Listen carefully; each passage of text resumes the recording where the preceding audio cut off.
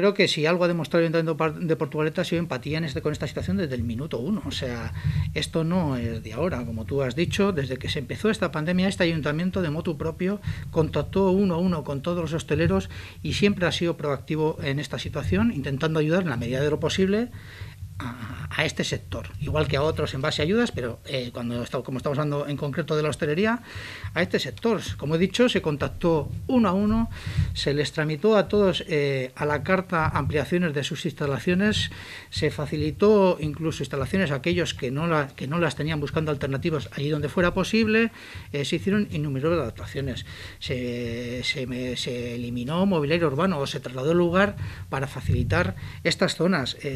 hicimos hay que recordar que, en el verano pasado eh, este ayuntamiento, de motu propio también, apostó por las actividades al aire libre, hizo cierre de calles para, facilitar la actividad hostelera en momentos tan difíciles y no precisamente eh, actuaciones que todo el mundo compartía. Y este ayuntamiento creía que era interesante y positivo que cumpliendo las medidas de seguridad necesarias que todo el mundo sabemos, porque las repetimos constantemente, eh, se puede hacer actividad al aire libre con seguridad, con responsabilidad y que desde luego genere actividad económica que, al sector hostelero desde luego le viene bien. Y esto lo ha hecho el Ayuntamiento de Portugalete. Y como esto, muchas, muchas otras actuaciones.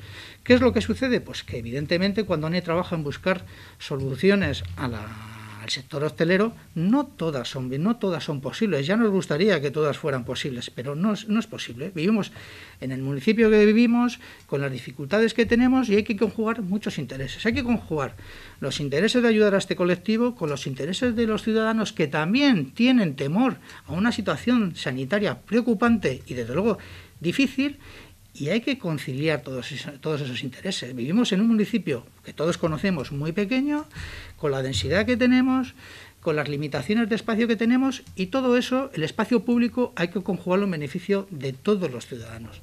Eso es lo que hemos hecho y es lo que estamos intentando.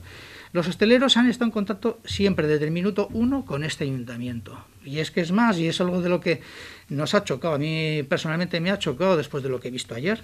El pasado día 13 de este mes, cuando entró Portugalete en zona roja por los datos que, se daban, eh, tuvimos una reunión con los hosteleros aquí y se habló y nos comprometimos a que... Eh, ya que anteriormente, en el mes de marzo, el alcalde había anunciado públicamente que se estaba trabajando desde el ayuntamiento para facilitar opciones de terraza a los hosteleros en zonas de estacionamiento en un periodo de verano amplio, que hablamos tan amplio como hablamos de mayo a septiembre, octubre. Esto lo anunció el alcalde en el pasado mes de marzo y como he dicho, el pasado día 13 estuvimos con los hosteleros reunidos y nos comprometimos y así dijimos que nos, nos harían llegar, por favor, las solicitudes de los hosteleros que estarían interesados en la ocupación de este espacio. Esto, como he dicho, es el pasado día 13. Y en esta reunión se comprometieron a algo ellos.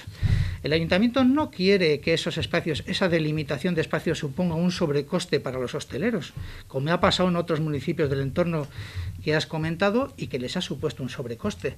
Y para, para eliminar ese sobrecoste o intentar evitarlo, los hosteleros, la Asociación de Hostelería, se comprometió a trasladar al ayuntamiento diversas opciones de mobiliario tras hablar con sus suministradores para intentar evitar ese sobrecoste.